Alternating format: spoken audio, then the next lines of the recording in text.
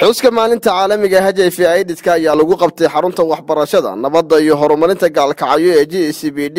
Waxaana xarunta oo kaashanaysa hay'adda u n h c r ay qabanqaabisay tartan kubadda kolayga ah taasoo u dhexaysay laba kooxood oo gabdha ah kuwaasi oo matalayay waqooyiga iyo koonfurta magaalada gaalkacyo ujeeddada tartankani ayaa ahaa sidii garab istaag loogu muujin lahaa dadka la nool xanuunka waxaana dhanka kale wacyigelin loogu sameeyey dhallinyaradii u daawashada tegey. Kulanka markuu soo idlaaday ayaa ka soo qaybgalayaashii lala wadaagay waxyeelada cudurka aidiska iyo siyaabaha uu ku faafo iyadoo sidoo kalena laga digay in ay takooraan dadka qaba fayraska dhaliya cudurka aidiska taasoo adkaysa in bukaanadu ay helaan dawo ku filan iyo iyagoo inta badan qarsada cudurka.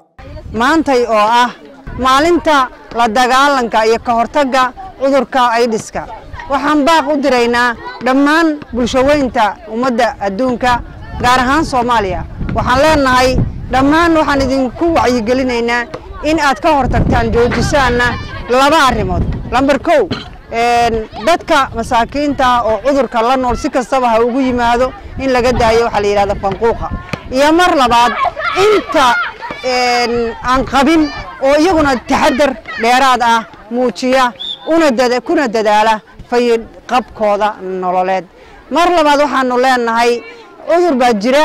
Cudurkaasna waxaa la yidhahdaa covid nneteen covid nneteenku sida la sheegay wuxuu inta badan dadka ugu yimaadaa in ay taxadar xumo muujiyaan in ay maxaytad ii sheeg isa salaamaan in ay maxaytad ii sheeg iyagoo aan qabin face maskiga ay isu jirsadaan masaafo aada u dhow inay ku kulmaan meelo ciriiriya inay inta badan soo booqdaan ama la kulmaan dadka xanuunada la nool.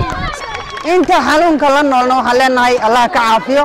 Inta aan xanuunka la noolayna waxaan leenahay hala taxadaro taxadar dheeraada hala muujiyo hana la is ilaaliyo.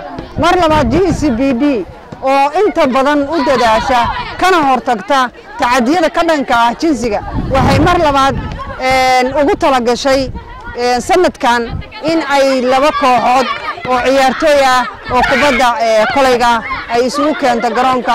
Isla markaasna ay dhex marto ciyaar saaxiibtinimo oo ay ku muujinayaan sidii ay uga saafi noqon lahaayeen ama ay uga xalan yihiin dhammaan dhibaatooyinka ayna u noqdaan dad xor ah. Ayna u noqdaan dad maxay tadiishag u taagan sidii ay walaalahooda kale u badbaadin lahaayeen. Maanta waxaan joognaa xarunta g e c b d ee nabadda iyo isdhexgalka resource centerka isbartiinka weynaa waxaana u joognaa maanta halkan waxaa weeyaan maalinta u dabaaldega kowda disembar oo ah maalinta aidiska adduunka. Munaasabadani waxa ay ka mid tahay munaasabadaha lix iyo tobanka beri ee ololaha la dagaalanka tacadiyada ka dhanka ah jinsiga. Waxa ayna g e c b d daahfurtay shan iyo labaatankii shan iyo labaatankii nofembar maalinta daahfurka ee ololaha lix iyo tobanka la dagaalanka tacadiyada jinsiga ku ah bini'aadamka xafladani waa qayb ka mid ah. Xafladaha lix iyo tobanka beri aan ugu talagalnay waxaanan galabta qaadanay in aan ciyaar wanaag dhex marsiino gabdhaha dhallinyarada ah ee basketboolka ee gobolka mudug ka tirsan laba kooxood oo ka mida horseed iyo horyaal ah. Waxaana ugu talagalnay sidii loo ciribtiri lahaa h i v idiska iyo cofinaytiinka oo sanadkan culays weyn ku haya adduunka oo dhan. Xanuunkaani waxa weeye waa xanuun jira. Bulshaduna ma odhan karno waa jiro laakiin waa la noole baan odhan karnaa. Maadaama uusan qofku ilaa uu ka dhinto uu daawada qaadanayo. Bulshada waxay u haysataa xanuunkan inuu qofkii ku dhacaa durbo hore ka dhimanayo laakiin saas ma aha. Waxa weeye inta qofka bini'aadamka ah oo caadiga ah noolaan karo ayuu noolaanayaa sidaa daraaddeed waxaa loo baahan yahay bulshadu inay arrinkaas ogaato teeda kaleeto wacyigelinta waxaa ka sii muhiimsan oo la rabaa bulshada inay ku dhaqanto.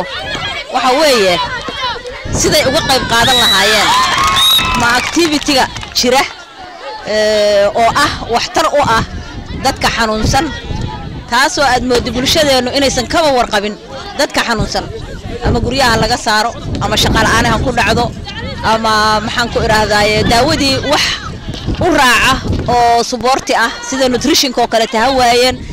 Cabdulqaadir washington s b c gaalkacyo aniguse waxaan isticmaalaa samtel isagu ma uu isticmaalo samtel anigu in badan baan samtel ku hadli karaa balse isagu sidaa ma samayn karayo. War maahayn run miya? Waa runtay. Afarlabaaatankii saacadood waxaan ku hadlaa laba kun iyo shan boqol oo shilin. Oo waa bilaashi bishii oo dhanna waxaan ku hadlaa shan dollar oo keli ah. Caadi maaha maxaad mar hore iigu sheegi weyday. Fikir fikir fikir